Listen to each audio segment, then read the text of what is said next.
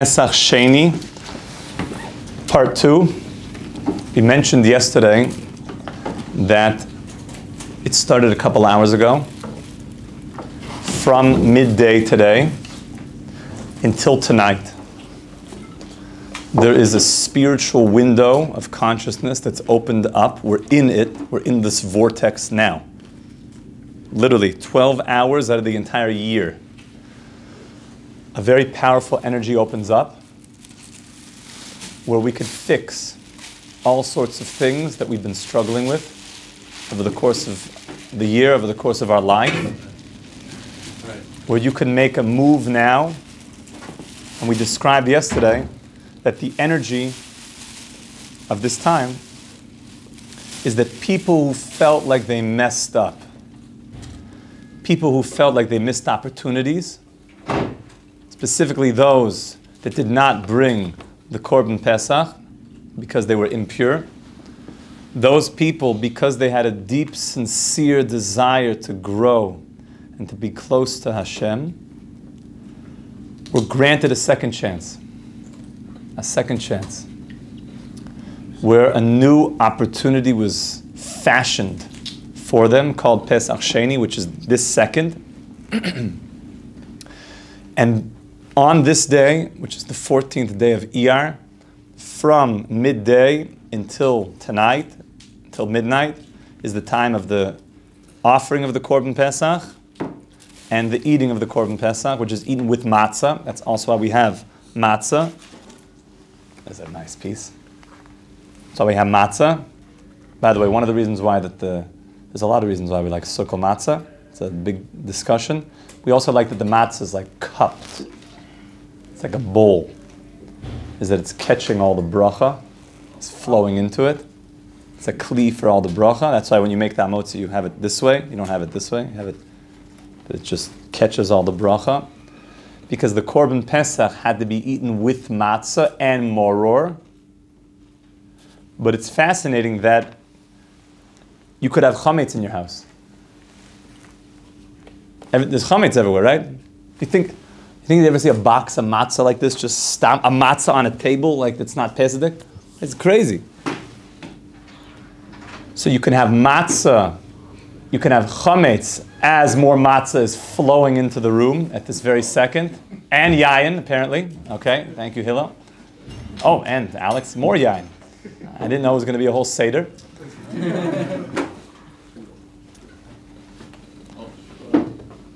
That this time is an integrative time also, where there's matzah and chametz. You can't eat them together on Pesach Sheni, but they can be in the house. And the matzah that we're eating is also to remind us of the Korban Pesach in the same way that what's the afikomen that we eat on Passover night? What does that symbolize? Korban Pesach. So matzah is symbolic also of Pesach. So we're eating matzah now, and we're thinking of the Korban Pesach. What is unique about this day? And I want to go a little bit into a deeper topic right now. What is unique about this day? Anybody know what day of the Omer is it? Today is 29 days of the Omer, which is four weeks and one day of the Omer. 29 days. And we've spoken at length that each of these 49 days is purifying the entire psychological profile of a person's being. We're going through different energies. We spent a lot of time in Netzach together, but we're entering a new week. Today begins a new week. Today is the energy and begins this whole week. The energy, anybody know what it's called? Of Hod. A Hodu la Hashem ki toiv, ki. What does Hod mean? Hod, yeah, gratitude. Hod means like Hoda'ah, means Toda, thank you. Hod, acknowledge, gratitude. It's a whole week of gratitude and acknowledging, of being able to. Gratitude is a very humbling thing because it's, it's implying that there's something that I can't do. When you say thank you, you're saying that you've done something for me that that was I, I I acknowledge that you did it.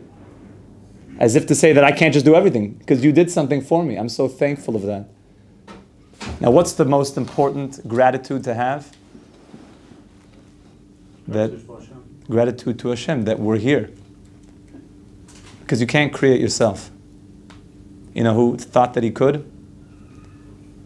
Paro. Pharaoh says a very interesting statement. To me is the Nile River, and I made myself. What part of you that wasn't here before made the you that's here? Finite is a non starter. Something has to be above finite. It's called infinite. So the first step of just acknowledgement is that there's a God, there's a creator, that I can't, I'm, I would not be here without you. I wouldn't be here without you. That's such an important reality. And by the way, what's the first word that a Jew says every single day? Besides, oh, it's early. Which he should never say. He should say, it's early. Bo Hashem. It's time to get up for Shachris. But no, ah, oh, that's not the first word. Uh, that's not even such a great word in general. If you mean, oh, that's a good kasha in the Gemara, then I hear that. But what, what, ar, like a pirate? Like, what are you so upset about? What's the first word that a Jew says every single day? Modeh, which means what?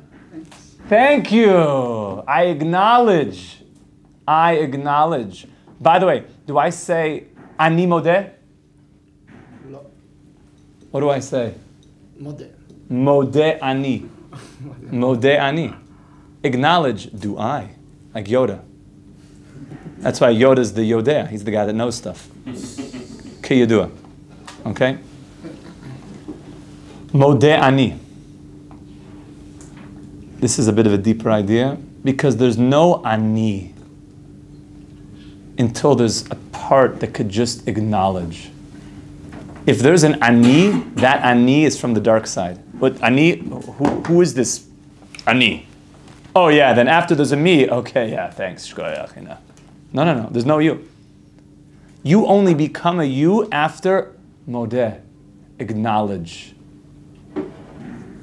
That's very deep. That means as your soul's coming down back into this world from the sleep time, essentially what you're doing is coming back, igna modeh.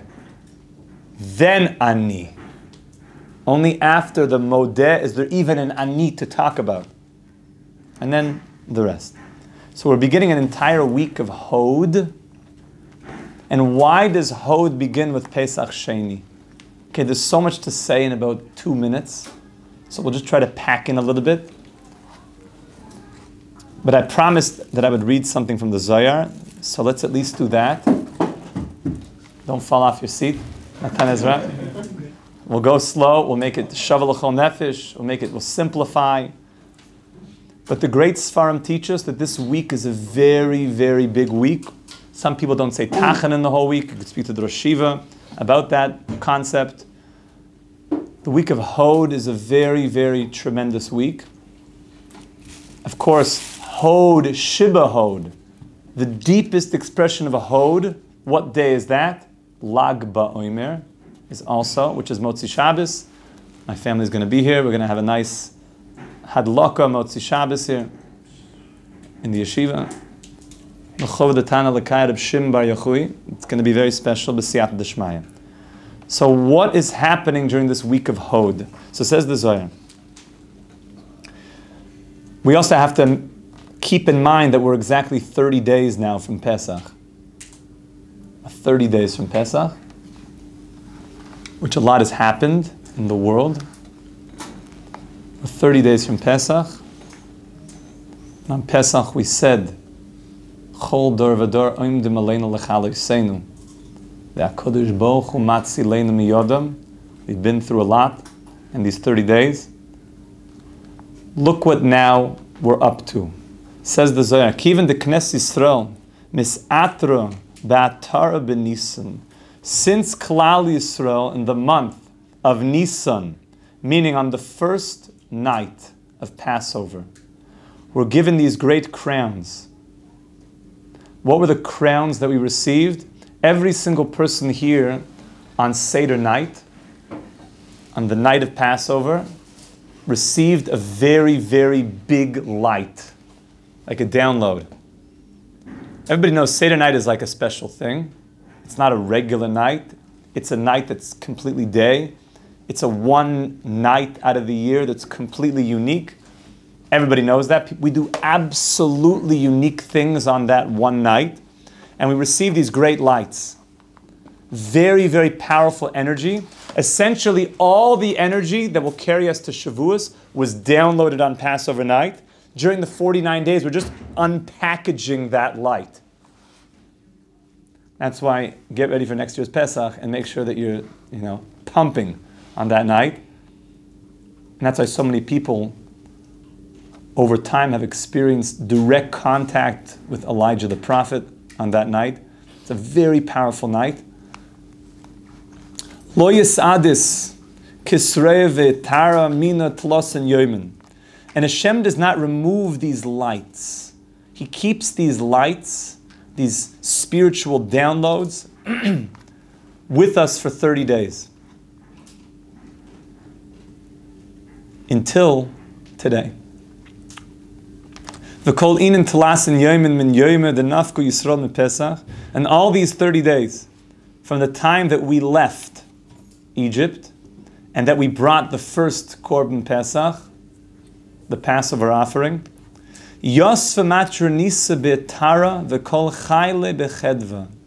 So to speak, the queen. The queen is re- referring to the Shechina, which is referring to the way that God is interfacing in this world and that we're experiencing godly energy in this world. And all of the queens, Chevra, all of the Shechina's energy are very, very happy during this time that the lights come down. They're given to us these great crowns. And this whole period of time, the Shechina is very available God's divine presence is very felt, is very available. And therefore, because this energy comes down to the world, man de boy, Anybody who wants to go and visit the queen and receive that energy and receive that blessing is free to come. They have 30 days to do so.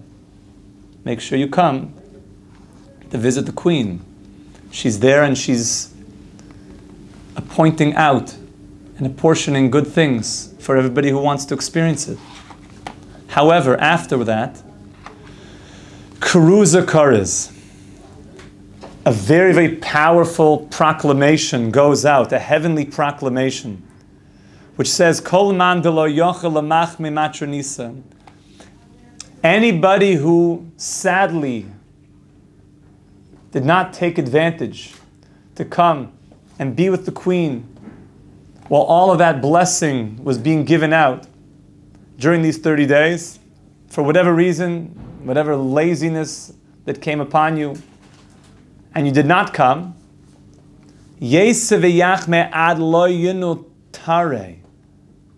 come quick before the gates are closed. The queen is here and she wants to give tremendous blessing and goodness. Come quick, there's a heavenly voice going out today. Come now before the gates close and you're no longer able to access that light. And therefore, Ba'arba Emosai, Emosai, when Kruza Karis, when does this great voice go forth? This heavenly voice goes out today, on the 14th day of Iyar. And then hear the famous words. Taha mitman ad shiva yoimin tarin psichin. And the voice says, for seven more days, we will keep the gates open. they're supposed to close, but a heavenly voice goes out that you have seven more days to take advantage of this opportunity. The opportunity that you maybe thought you lost. Pesach Sheni is you didn't lose the opportunity. If you thought you messed up your life and you didn't go visit the queen when you should have, and you did all sorts of stuff besides going and doing something productive, Pesach Sheni tells you there's hope for seven more days to run. To run and pour your heart out before Hashem and say, All I want is to be connected to you. And this is the time that for seven more days the gates are open. And then after that time, which means the entire week starting now, it's called Taran Psichen. The gates are open. The final opening of the gates. And Then Mikan Ulahala Yinul Tare. And then afterwards the gates will be closed. Va'alda Pesach Sheni. And therefore this is called Pesach Sheni. That's why the open gates, when they're supposed to be closed, exactly as right now, at the time when people think all hope is lost, you have this last chance. This last chance to get what Hashem was giving us on Pesach and really get ready for Kabbalas Torah. So this last week is a very, very powerful week of Haid. And specifically, I wanted to go into more the power of what is the unique energy of today. It's Chesed Shebahod. It's Chesed Shebahod, the kindness within acknowledging. So there's literally a million things to say, but I want to say one thing from King David. That King David revealed the secret to us. When do you usually say thank you to God? After you're saved. After a person survives something, after he's saved from something, he makes a goimel, you go on a flight, you come back, Torah reading day, you make a goimel, you cross the desert, you make a goimel, something happens, afterwards you say thank you, Hashem for saving me. King David lived at a level that he was thanking Hashem even before he was saved.